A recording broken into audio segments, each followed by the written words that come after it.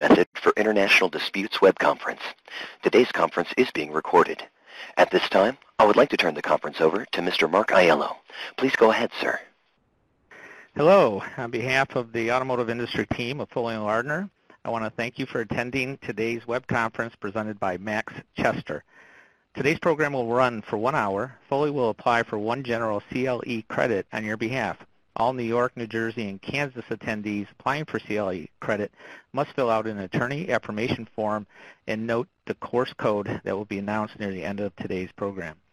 The attorney affirmation form and today's slides can be obtained in the handout section on the right side of your screen. Questions can be submitted during the web conference by entering them in the Q&A box. We'll answer questions at the end of the program as time permits. Thank you. Um, and with that, I'd like to introduce you to Max Chester uh, with Foley & Lardner in our Milwaukee, Wisconsin office who practices uh, in the area of uh, international disputes. Max?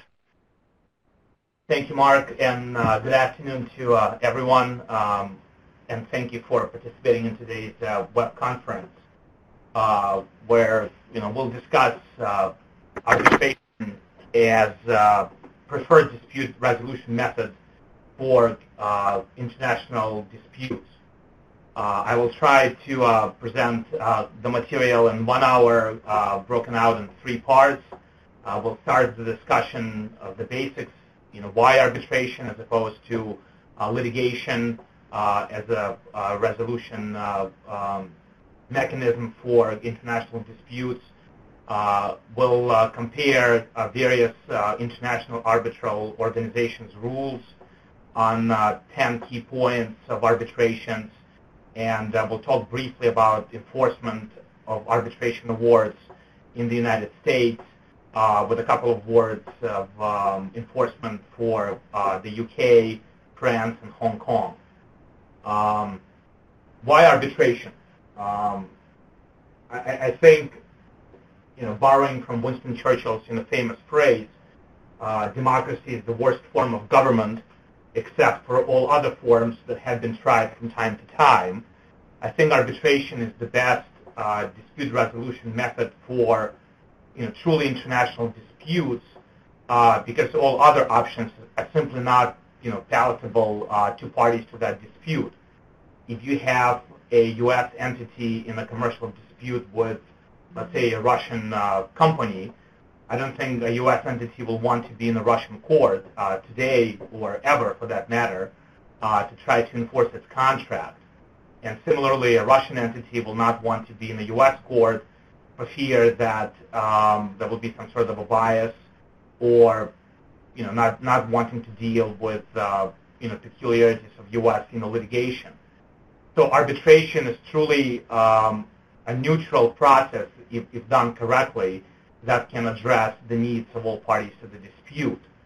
Um, secondly, I think, and most importantly as well, uh, arbitration uh, gives the ease of enforcement that uh, you will not necessarily have when having a court judgment, uh, you know, uh, uh, from a third country that might be perceived by U.S. courts as not being fair in its litigation you know, obviously, um, you know, the, the main uh, convention for the enforcement of uh, international arbitration awards is the New York Convention.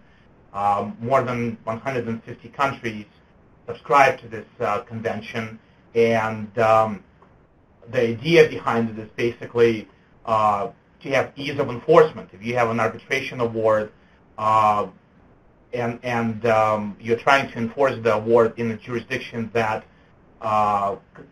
subscribe to the convention, uh, you should not have you know, difficulties in, in confirming that award and having that award the same force as, as that of a court judgment. And with that, uh, you can go against the assets uh, of uh, you know, the party in the jurisdiction uh, where you have confirmed the award. Um, obviously, there are ways to attack the award and, and try to prevent its confirmation. But uh, the general principle is that it's difficult to do that. Uh, not impossible, but difficult. And uh, you know, the ease of enforcement is one of the most important uh, attributes why arbitration is a better dispute resolution mechanism than you know, litigation in international disputes. Um, I think arbitration uh, is more predictable than litigation, even for U.S. companies. Uh, you might have the best possible case, uh, but uh, you, you never know uh, how the jury will decide that dispute. And um, obviously for foreign companies that are subject to agreements with U.S. You know, counterparts, they have heard about you know, phenomenal, you know, $3 million awards, you know, for, you know, hot coffee spill at McDonald's or, you know, something similar, and they don't want to be subject to uh, U.S. juries. Um, in arbitration, obviously, you're dealing with experienced arbitrators. Uh, sometimes you can choose, well, not sometimes, you know, arbitration is a creature of a contract, so you can choose in advance, you know, who your arbitrators will be, what specific experience they should have or must have, you know, industry-wide or, you know, uh, jurisprudence-wide. And that way you might try to be assured that, you know, they will follow, uh, you know, the rules of law and their experience and, uh, you know, rule in accordance, you know, with, with those, as opposed to submitting your dispute to, uh, you know, 12 people from basically the street. Um, confidentiality is another, you know, reason why uh, arbitration is a preferred method. Uh, confidentiality is a, a default condition uh, in most arbitrations. Um, you have to read the, the rules of the arbitration body you know, carefully if you decide that your arbitration will be an institutional arbitration. Uh, but uh, even there, uh, the default is that all the proceedings will be confidential and the award you know, will be confidential unless you know, the party has to um, uh, public, public, publish the award in order to enforce it, or if it's a public company, there are some circumstances where that has to be done. Uh, but normally, uh, confidentiality is the norm, uh, which is not the case in litigation, obviously, where uh, litigation and, and, access to courts uh, is an important attribute of litigation system in the U.S. And um, everything has to be public unless you can demonstrate to the court that uh, you know, proceedings have to be sealed, you know, to prevent um, you know, disclosure of trade secrets or you know, highly confidential information. Um, confidentiality uh, as a norm in, in, international arbitrations, I think, has an important exception that I, would like to touch on briefly here, and that is uh, arbitration under the ICSID rules. Uh, that is uh, International Center for Settlement of Investment uh, Disputes. Uh, there's a separate uh, Washington Convention uh, dealing with uh, arbitrations arising from investments by uh, you know companies in uh, you know foreign um, jurisdictions, and there's a separate set of rules and a separate place for those arbitrations. You know the seat of that court is in Washington D.C. and um, like you know case law ICSID has a website where you can um, access the you know, cases decided by ICSID and, and, learn about the proceedings, uh, which is not normally the case with other international arbitrations under you know, ICC, uh, which is International uh, Ch Chamber of Commerce, or uh, London Commercial uh, you know, Court of Arbitrations, or you know, Hong Kong or any others. Obviously, not every arbitration qualifies for ICSID arbitration, um, and uh, you know what needs to happen to qualify for that arbitration is, is beyond this presentation. But um, you, know, you can get uh, lots of decisions on ICSID arbitration from their website. Another positive of arbitrations uh, is flexibility. Uh, as I mentioned, arbitration is a creature of contract. So parties can devise, you know, whatever parameters they'd like for their arbitration in advance. Uh, normally, parties don't think of disputes when they enter into sophisticated agreements, but uh, obviously uh, we counsel that arbitration clause has to be addressed uh, in commercial agreements in advance, um, and that you can write whatever you'd like, pretty much.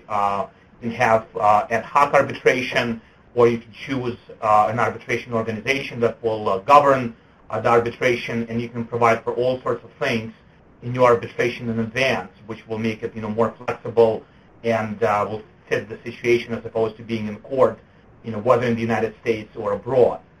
Uh, final uh, you know factor in favor of arbitration uh, that is often um, uh, described is uh, in the speed of arbitration and the cost. Um, the idea with arbitration is that it should be faster than litigation in courts and it should be cheaper. Uh, I'm not sure that that is the case uh, today from what it was, you know, 20 years ago.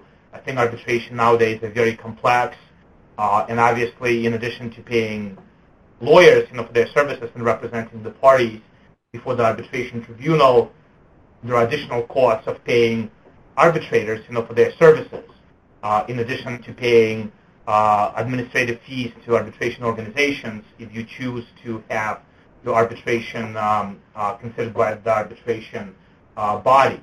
Uh, and because of the difficulty uh, of the disputes, the complexity of the, of, of, the disputes, it's not necessarily speedier than, than litigation.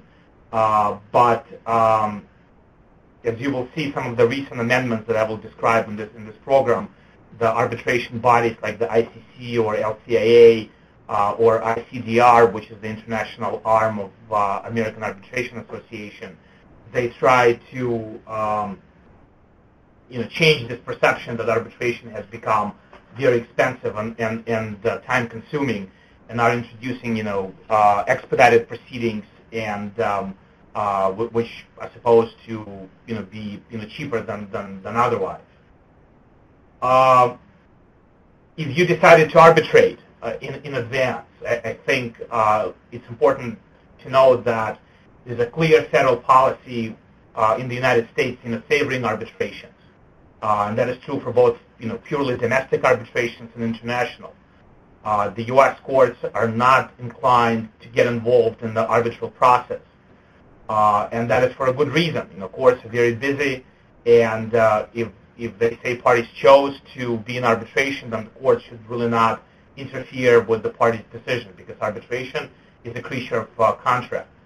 Um, if a party opposes arbitration, uh, the party, you know, assuming the contract is there, uh, the party has several choices. Uh, one obvious choice is the party can boycott the arbitration that, that's been instituted and in my experience, that's a rare uh, way to proceed uh, because because uh, the other side's arbitration will likely go to an ex parte award, you know, after giving notice of the arbitration, and um, you know the party might lose all challenges, you know, to the merits of that decision if the party decides not to arbitrate. Uh, another way to oppose arbitration is to challenge the jurisdiction of the um, uh, tribunal and challenge that with the institution if that is uh, an institutional arbitration. Again, if the parties decided in the contract that the arbitration will be governed by ICC rules or LCIA rules or some other institution. Um, before the institution parties, parties can make arguments that there's no agreement to arbitrate or the agreement um, does not cover specific claims or the party brought an arbitration claim in front of the wrong institution, uh, again, unless it is obviously clear that uh, the party that brought the, the, arbitration claim is in the wrong place or uh, you know brings the wrong claim, the standard you know to overcome uh, you know arbitration before the institution is very low. Um, another option is to challenge the jurisdiction with the panel itself once the panel is uh, is instituted. Uh, this is the most common way to proceed and uh, it, it, preserves the challenges, you know, for subsequent court review. Uh, but obviously, uh, as to the cost of arbitration, if there is such a challenge to the arbitration. Obviously, a party can challenge the arbitration after the final award if it's on the losing end of that award. Um, and um, uh, parties can, you know, proceed with arbitration and challenge the award after the award is issued. Um, it's important to know uh, when you're dealing with truly international arbitrations that there is a federal subject matter jurisdiction to be in federal court to either uh, assert your right that arbitration or you know challenge uh, someone's uh, uh, institution that arbitration against you. This is a big difference between a purely domestic arbitration, because in a purely domestic arbitration, uh, you have to demonstrate that the federal court has subject matter jurisdiction.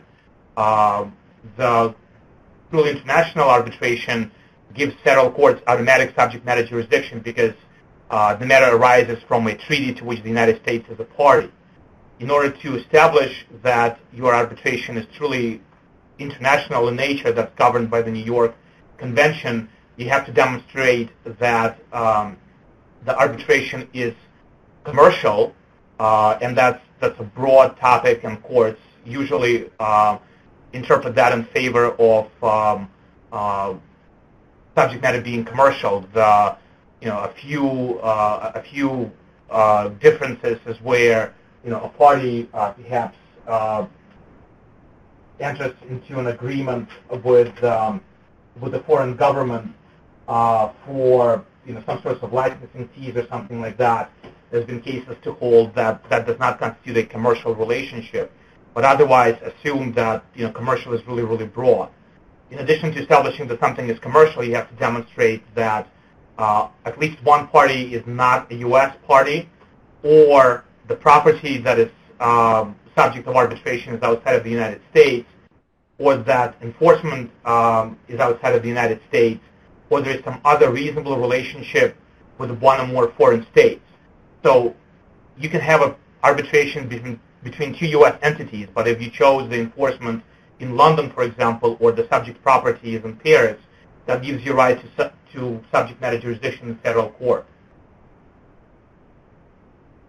Some courts require uh, establishment of personal jurisdiction as well. I mean, um, personal jurisdiction can be shown from the agreement itself, uh, if there is a forum selection clause, uh, but not every court looks for um, forum selection clause as the basis for personal jurisdiction. Uh, so it's something that has to be addressed uh, if you are in federal court under international arbitration. Um, if you're challenging international arbitration in, in, in court, uh, basically uh, you, you have to show that th- there was no agreement to arbitrate, for example or that the agreement was void, you know, inoperative or incapable of being performed. You know, this is narrowly construed and uh, requires a showing of fraud, mistake, you know, duress, waiver, or, or the agreement is against public policy. Uh, the courts interpret arbitration clauses separately from the agreement themselves, and you have to show, if you're challenging um, arbitration in federal court, that arbitration clause itself, you know, has been procured by fraud you know, was uh, entered as a result of a mistake or under duress. Uh, it is also possible to um, force a non-signatory uh, to arbitrate under certain circumstances. Um, I, am listing them, you know, briefly in the in, in, the presentation, you know, where you can demonstrate, you know, agency relationship or you know some sort of an equitable estoppel or you know veil piercing alter ego relationship between the parties. Uh, you can also, you know, force to arbitrate, you know, in those circumstances, or the other side will try to argue that it never agreed to arbitrate and should not be in arbitration. And, and as I mentioned, um, you know, the challenges to arbitration are also to show that it's not commercial or it's not international in scope or that the claim is not covered. Uh, who decides arbitrability? I think um, this, is, this is a uh, threshold issue and um, most of the arbitration organizations have you decided to have an institutional arbitration provide that arbitrators rather than the courts uh, decide you know final determinations of uh, their own jurisdiction. Uh, and the U.S. courts uh, ask you know have the parties agreed to arbitrate, and if the answer is yes, then um, you know then it's up to the uh, arbitrators to decide you know all of those matters, but it's up to the courts to decide, you know, any preliminary, you know, issues relating to whether there was an agreement between the parties to arbitrate. And, uh, you know, first options case, you know, from 95, you know, is often cited for that proposition. Um, as I mentioned, um, there's a clear, you know, federal policy, you know, favoring arbitration, and I'm, you know, citing in the presentation several, you know, decisions, you know, from, you know, recent years a lot of them are domestic, but there's one, you know, international case that I will address as well. Uh, basically, you know, in the Italian Colors case, the court held that neither the Sherman Act or the Clayton Act or the federal rules of civil procedure, you know, establishing class arbitrations, you know, permit um, or you know give rise to class-wide arbitrations if the parties agreed against it, then you know there is no uh, there is no right to be in a class arbitration, uh, and parties can by agreement uh, eradicate class arbitration from you know from their from their disputes. Um, in Sutter case, um, interesting case where the court said if the parties left it to the arbitrator's authority to decide whether class-wide arbitration is permitted, then the parties will likely live with that arbitrator's decision. And it's, it's important to uh, to remember because in that case, the you know the arbitrator decided that there could be class arbitration, and the parties challenged the arbitrator's decision and, and lost. So as long as the arbitrator is deciding a matter within you know the parties' agreement, that that decision would likely you know withstand any any challenge um, under the Federal Arbitration Act. Um, in uh, Greenwood case, uh, you know, there were uh, credit card agreements, you know, with annual fees of like three hundred dollars, and uh, you know, annual fees of, I'm sorry, uh, limits of credit cards of like three hundred dollars, and, and uh, annual fees of you know two hundred and fifty dollars, and parties you know challenged, you know, those types of arrangements under unconscionability standards, and the court, you know, reverse Ninth, Ninth Circuit uh, holding that uh, unconscionability is not, and the state law is not a basis to preempt federal arbitration policy. In favoring arbitration, if there is an agreement to arbitrate, it will be enforced. Um, same decisions in uh, Nitro-Lift case and, and uh, Marmet Healthcare cases invalidating state uh, policies uh, disfavoring uh, arbitrations or prohibiting same. Uh, you might have heard about the AT&T mobility case where, you know, again, California prohibited um, class-wide arbitrations, and the, the Supreme Court held in favor of class-wide arbitrations and uh, against the you know state uh, state law prohibiting same. Uh, the, on the international, truly international arbitration uh, side, uh, last term, the United States Supreme Court decided a case of uh, BG Group versus Republic of Argentina. You know, Argentina is not doing very well in U.S. courts in light of uh, the default on, on its bonds from early, you know, 2000s and, you know, of course, prohibition of payments, and then, you know, this case as well. Uh, this case arises from uh, an investment treaty to which uh, the United Kingdom and Argent Argentina were parties. Uh, so this arose under the ICSID uh, arbitration, uh, as I mentioned earlier. But the parties chose for Washington, D.C. to be the you know, seat of their arbitration. And in that case, um, BG invested in, a, in, in an Argentinian you know, company that received the licensing rights from uh, Argentina to uh, distribute natural gas. And uh, when the agreement was entered in the early 90s, uh, the rates uh, were supposed to be calculated in U.S. dollars. And then when Argentina experienced financial difficulties, difficulties in the early 2000s, uh, government of Argentina passed new legislation basically changing the tariffs from dollars to uh, uh, pesos. And um, that made uh, Group's investment unprofitable and uh, BG wanted to bring an arbitration and did bring an arbitration uh, to challenge that, to say that its investment was expropriated or it was not treated fairly. And Argentina argued that as a precondition to arbitration, um, the investment treaty provided for uh, a dispute to be decided in court first. And uh, the arbitration panel in Washington, D.C uh, ruled against Argentina, saying that that provision in the investment treaty was um, excused because Argentina made a number of other changes um, in uh, in basically making it, it, it, impossible for investors to uh, vindicate their rights uh, in Argentinian courts. Uh, Argentina and awarded the arbitration panel awarded BG 185 million dollars. Argentina challenged the decision.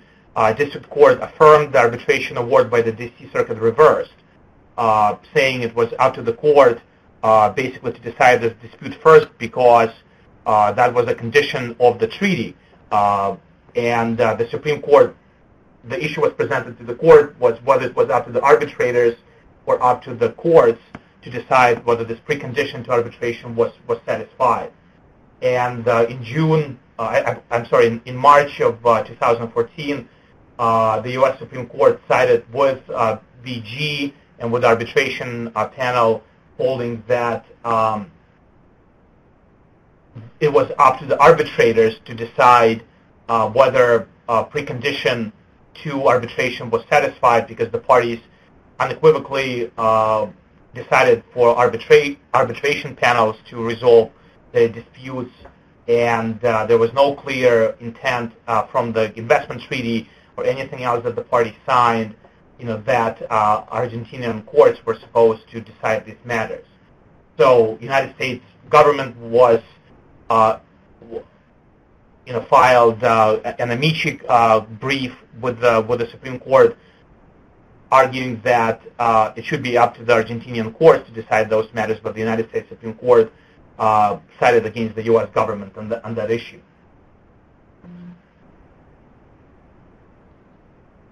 So against this background of you know, basic concepts in international arbitrations and how they are decided in U.S. courts, uh, I'd like to uh, discuss briefly uh, the 10 issues um, and how they are addressed uh, in various institutional um, arbitrations and one under uh, United uh, Nations Commission on International Trade Law which is the uh, UNCITRAL rules. Um, a lot of times we're asked uh, questions.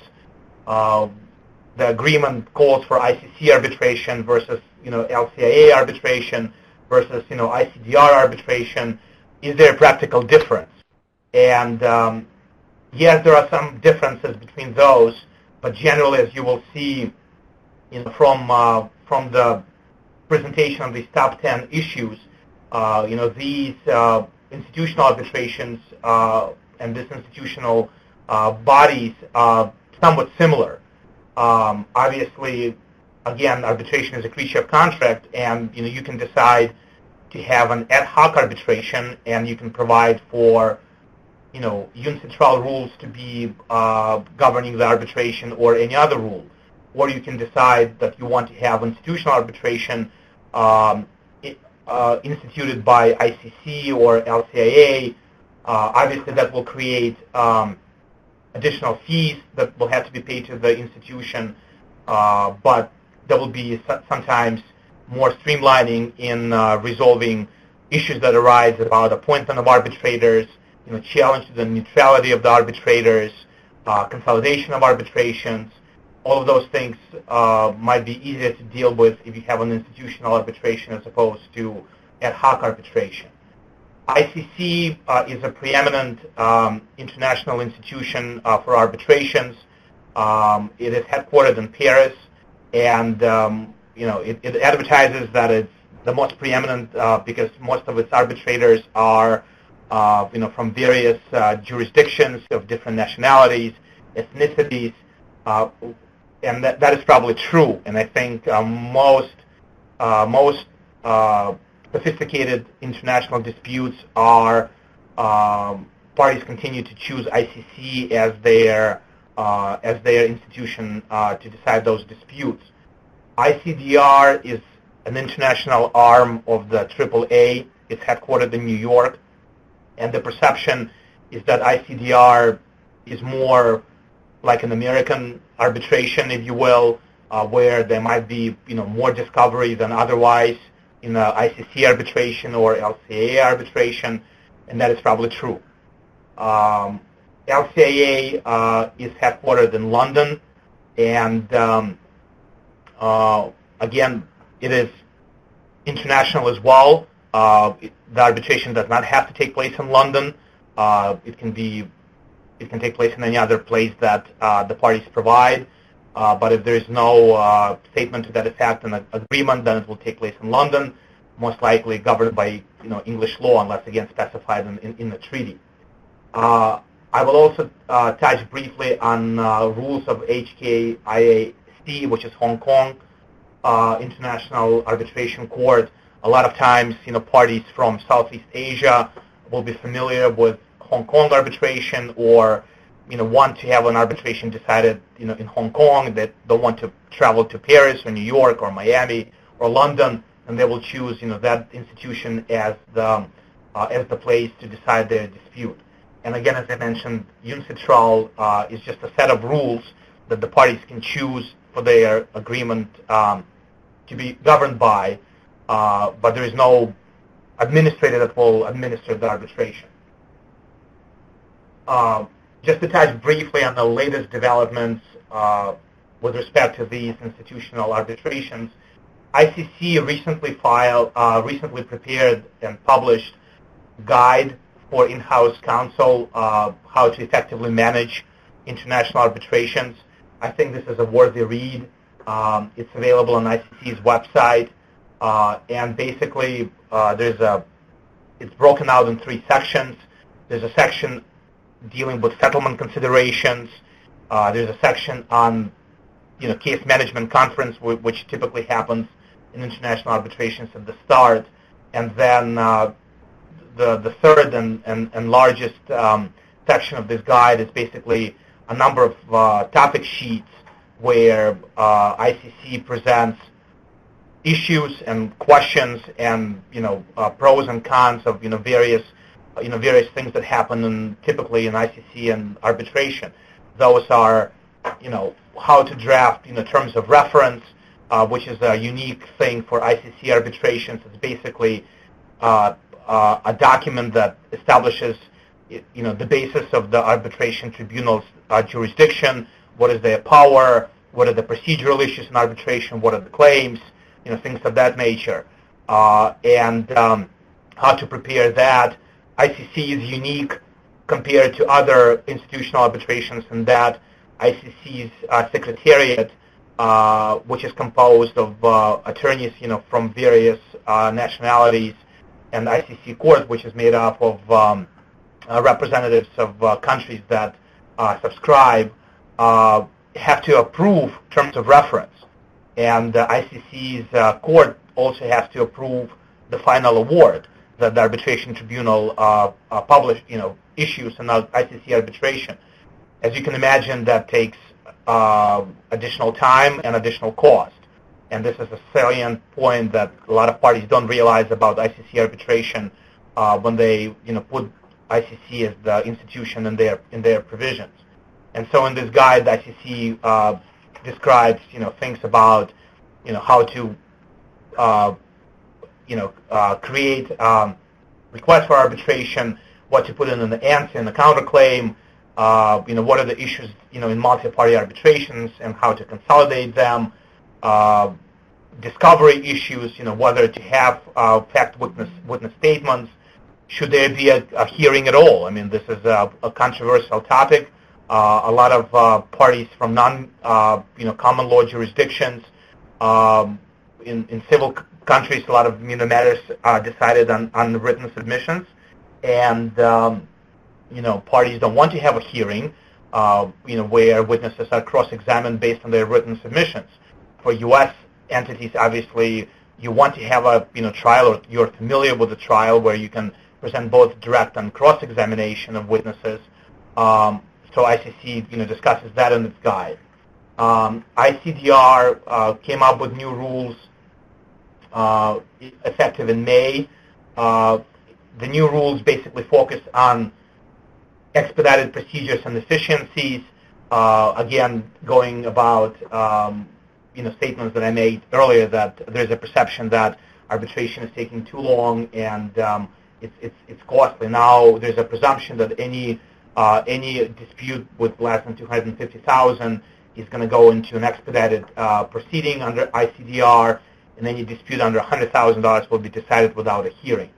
Um, there is also um, new rules on impartiality of um, of uh, arbitrators. You know, in international arbitrations, impartiality and neutrality of arbitrators is of paramount concern. uh, and uh, ICDR came up with new rules uh, to prohibit basically ex parte communications even in the selection of arbitrator process and requiring lawyers, you know, to disclose of any such things or, or come up with any issues that might impact on, um, on, on neutrality of the arbitrators. LCIA came up with new rules that will be uh, effective uh, later this year. Uh, one interesting uh, aspect is the creation of an emergency arbitrator, which did not exist before.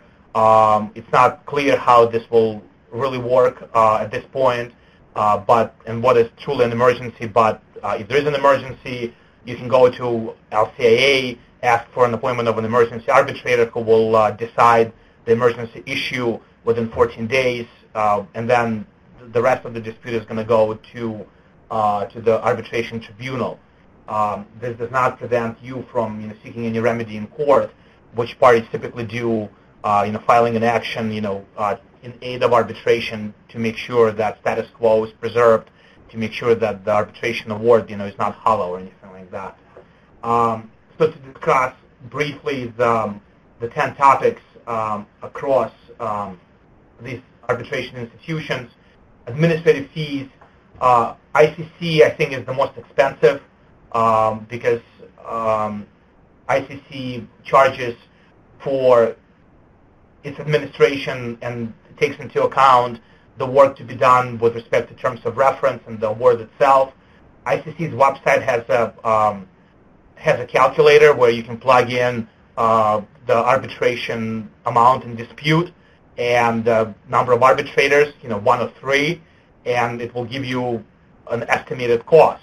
Um, this does not take into account, obviously, your legal fees, but, uh, you know, what the administrative fees will be. And um, I, I, think on the million-dollar uh, case, uh, the uh, administrative costs are about, you know, $250,000, something like that, which is not insignificant, you know, 25% of the amount of the dispute and there's a sliding scale. Uh, you know, the more amount in dispute, the less is the in percentage amounts the administrative fees, but higher are the costs of the arbitrators, which are calculated on um, on you know hourly rates, but you don't really know what they are. The ICC gives you uh, estimation of cost based on uh, based on the amount in, in, in dispute. ICDR, there's a uh, less amount in, in fees than, than ICC, and there are uh, uh, multiple mechanisms to pay those fees in advance. Um, uh, LCIA, there is an administrative fee, but it's less than ICC. Uh, Hong Kong, I think, also uh, is in line with London uh, and less expensive than ICC and less expen expensive than ICDR to administer an arbitration. And the UNCITRAL, obviously, there are no fees um, for UNCITRAL arbitration because there is no administrative institution.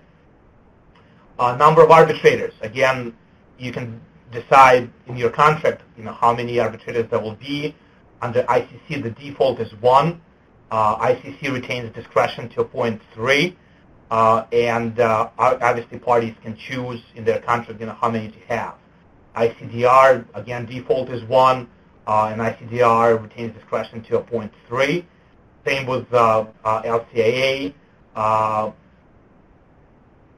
in Hong Kong, it's one of three. There's no default. And in UNCITRAL, the default is three.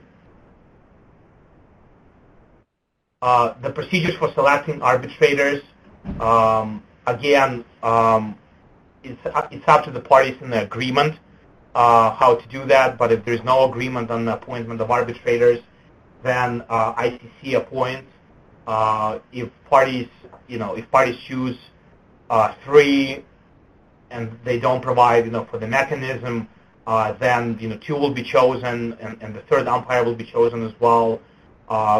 It, it's really important uh, in all of these uh, administered arbitrations in international arena that arbitrators are truly neutral and, uh, and impartial. Uh, and, um, you know, sometimes questions arise you know, whether a party who is even predisposed, you know, party-appointed arbitrator was predisposed, you know, to rule in a party-appointed favor, whether the party can still, you know, remain neutral.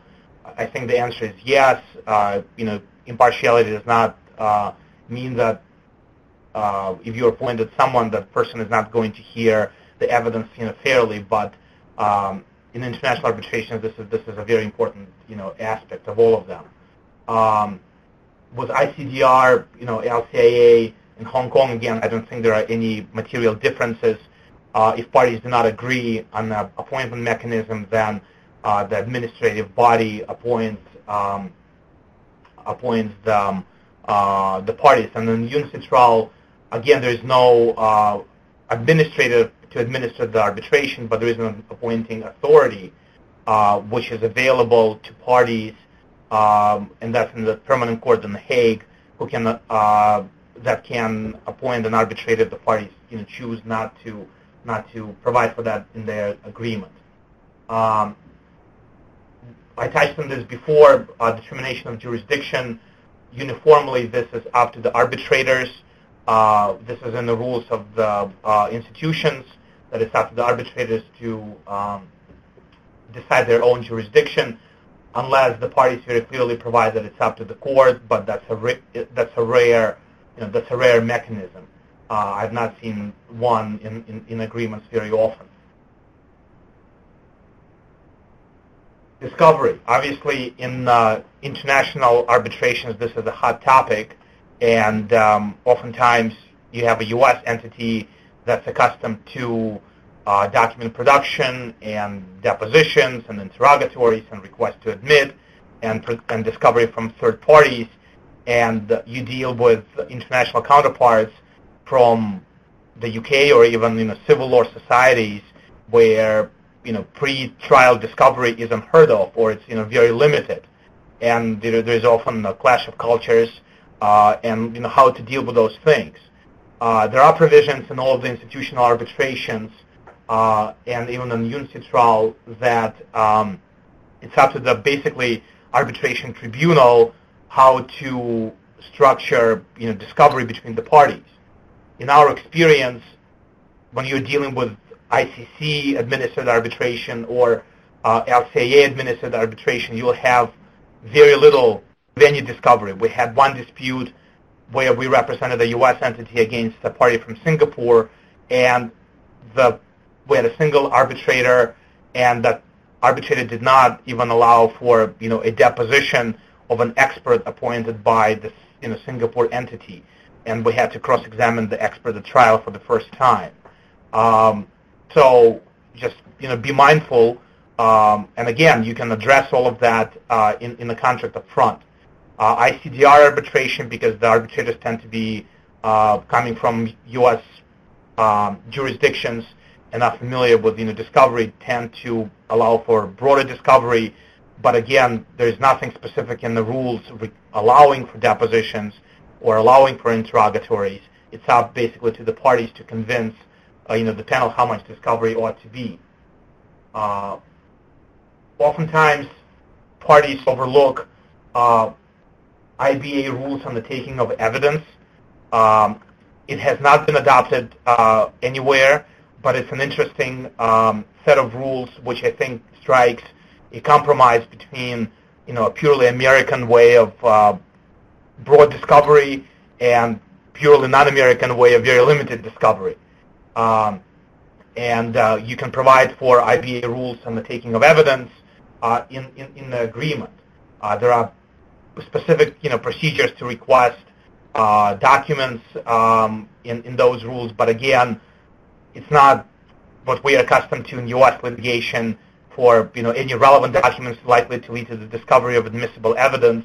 You have to specify you know, why the document uh, is needed, you know, but it's I think, a lesser standard than something that you have to demonstrate to an ICC uh, arbitrators that you cannot prove your case without the documents, you know, in in your opponent's uh, possession. Uh, so something to consider when preparing an agreement. Uh, interim remedies, um, again, available throughout uh, institutional arbitrations and also available uh, under UNCITRAL rules. Uh, as I mentioned, LCIA, you know, recently uh, changed the rules to uh, provide for an emergency arbitrator. this does not, again, stop the parties, you know, from seeking something from the courts if they wanted, you know, to preserve the arbitration award. Uh, hearing procedures, again, there are no material differences. Uh, basically, it's up to the arbitration panel to provide, you know, how the evidence will be presented and what order, whether they will hear from, you know, witnesses or whether they will uh, decide matters on, on submissions. Uh, reasoned award uh, is a standard uh, default in uh, all uh, international arbitrations institutions unless the you know parties provide otherwise. And um, you know I think there are pros and cons you know for, for having a reasoned award or not having one.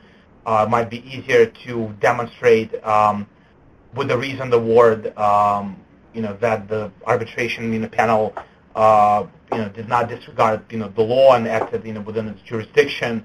Um, you know, sometimes you don't want, you know, the reasons, you know, to be, you know, publicly available. But again, uh, international arbitrators, you know, tend to provide, you know, for reasons in their in their awards, unless the parties agree otherwise. Expert testimony. Um, usually, uh, you, in ICC uh, arbitrations, experts allowed only with the express permission of the arbitrators. Uh, parties are allowed to cross-examine the experts, and the arbitrators may appoint their, appoint their own experts. Um, this is not dissimilar, you know, from other arbitrations. Uh, you know, panels across the board may decide that they need to have arbitrators, and the parties don't need to present any arbitrators because, I'm sorry, any experts because the arbitrators are supposed to be experts in the field in the first place um, prevailing uh, party recovery of costs. Uh, again, uh, in international arbitrations, unlike U.S. litigation, uh, where the contract is silent or there's no statute, um, the, the, default rule is that uh, prevailing party uh, is to recover the costs and fees of arbitration unless the agreement provides otherwise. the LCIA, in a recent amendment, I think uh, does not even allow parties to uh, take out um, that the arbitration panel can consider the conduct of the parties in determining, you know, you know, what what fees to award. So you cannot contract around that. And and and the thinking behind that change the LCIA rule is, you know, to basically allow the you know panels you know, to punish uh, a party if the party is, is being difficult in the arbitration process and, uh, you know, is, is, is litigious and vexatious and, and, and, and not, not, playing, not playing well in the, in, in the sandbox. But as a general proposition, uh, unless the parties provide otherwise, uh, prevailing party uh, recovers in international arbitrations. Uh, quickly, in the 10 minutes that we have left, enforcement of arbitration awards uh, in the U.S. and elsewhere.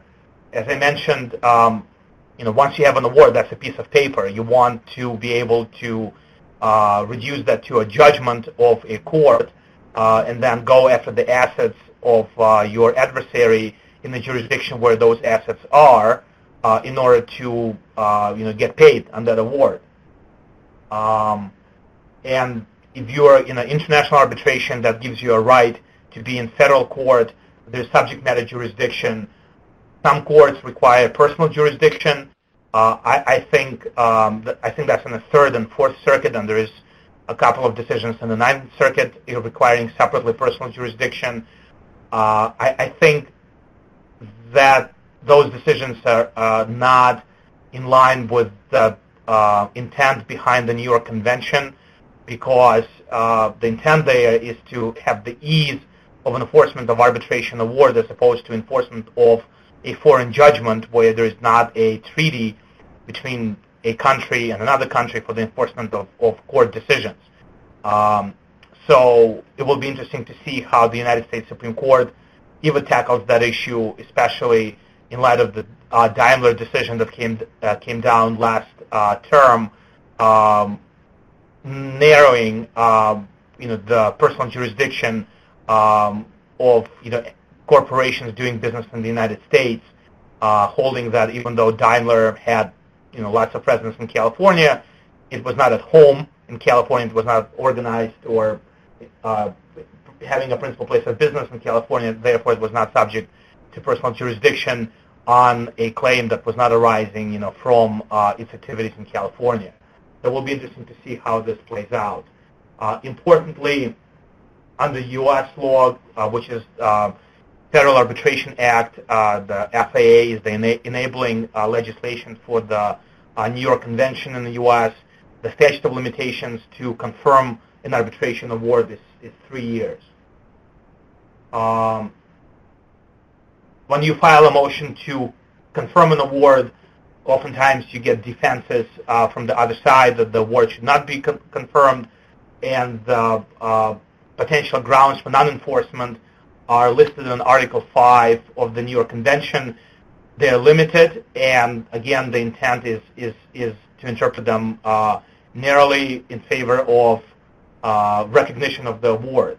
But but uh, the basis for non-enforcement uh, is you know, party incapacity, lack of proper notice, uh, dispute about the scope of the arbitration agreement, which, as I mentioned, you can raise you know, before with the tribunal uh, or the organization or afterwards, uh, that somehow uh, arbitration procedures were violated or that award has not become final uh, or the subject matter is not capable of being settled by arbitration this goes back to the you know, basic premises of uh, international arbitration that has to be commercial uh, and between you know two uh, U.S. and non-U.S. party or having something to do with uh, with with a foreign jurisdiction. Uh, and again, the last one is enforcement would be contrary to public policy, but that's a very difficult that's a very difficult argument to make because a lot of uh, countries have subscribed to the New York Convention, and you want to know in advance whether uh, your counterparty uh, is from a jurisdiction that, that, that, that is a signatory to the New York Convention. Uh, Max, just, uh, excuse yeah. me for one moment. I wanted to announce the CLE code, uh, which sure. is W. It's WUND. Uh, again, the CLE code is WUND. Thank you. Thank you. Uh, a motion to vacate an arbitration award, uh, importantly here, it has to be filed in the in a country where the seat of the arbitration was. So if you represent the party in an ICC arbitration um, and the arbitration took place in Paris, you're not going to be able to file a motion to vacate that award in the United States. You will have to do that in, in France. Uh, or if the party that has an award uh, you know, files a motion to confirm an award in the United States against you where the assets are, then then you can bring the uh, arguments for the non-enforcement. Um, there is a split uh, in authorities uh, in circuits in the United States.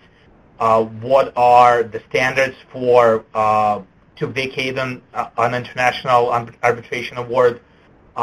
some some circuits, and I know them, they in, in the presentation state that um, the provisions in the New York Convention are exclusive, and um, there are no other bases. Uh, other courts, um, notably the Second Circuit, which covers New York, uh, which is an um, important um, place for international arbitration, provides that uh, there is no limitation on New York Convention, and one can rely on the uh, FAA Section 10 to argue for non-enforcement of arbitration award. And uh, under Section 10, there are four additional grounds. One is uh, that the award was procured through corruption, fraud, or undue means. Second is uh, evidence partiality of the arbitrators. Um, third, you know, um, some misconduct by arbitrators. Fourth, that arbitrators uh, exceeded their powers. And to this date, uh, even though the United States Supreme Court decided uh, Hall Street case um, six years ago now, some courts still say that manifest disregard of the law is a separate basis for uh, non-enforcement of an arbitration award. Again, there's a circuit split on that, whether manifest disregard of the law is, is, is, a, uh, is a ground. Um, I think uh, first, fifth, seventh, eighth, and eleventh uh, circuits have held that it's not uh, a separate ground, and then fourth, um, 2nd, 6th, ninth, and 10th have held that, that manifest disregard of the law is a separate ground for non-enforcement of arbitration award. Uh, outside of the United States, you know, motion to enforce uh, an arbitration award basically no different than it is uh, to enforce in the United States. You just have to look at the rules um, uh, in a jurisdiction, you know, where where you're enforcing the uh, the arbitration arbitration award. Uh,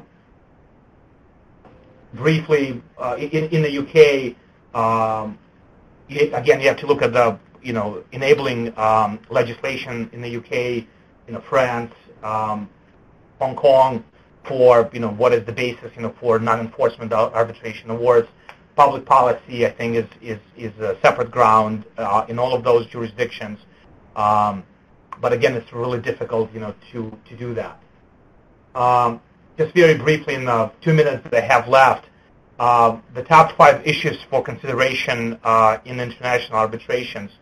Again, it's a creature of contract, so uh, beforehand you can decide whether you want to have institutional arbitration or ad hoc arbitration. You can decide what should be the scope of the dispute. Uh, it's important to decide in the in the contract what should be the seat of the arbitration, what should be the governing law. Uh, for U.S. parties, obviously, it's very important to provide in the in the contract that arbitration has to be conducted in English, um, and um, you know to provide where you know the arbitration is to take place, you know how many arbitrators there will be, whether um, uh, there will be one or three, what's the appointment mechanism, and not to not to uh, forget about discovery mechanisms as well. In advance, you can do all of those things. Um,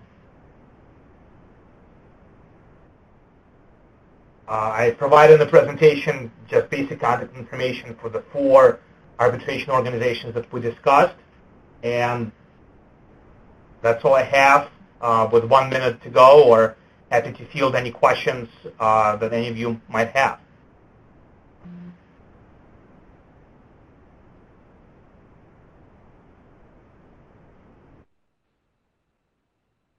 If there are no questions, going once, going twice, happy to field any questions uh, by phone or by email separately. Contact information is in the presentation. Uh, thank you very much for participating and uh, look forward to uh, having you on another Foley presentation in the future. Thanks very much. That concludes today's presentation. Thank you for your participation.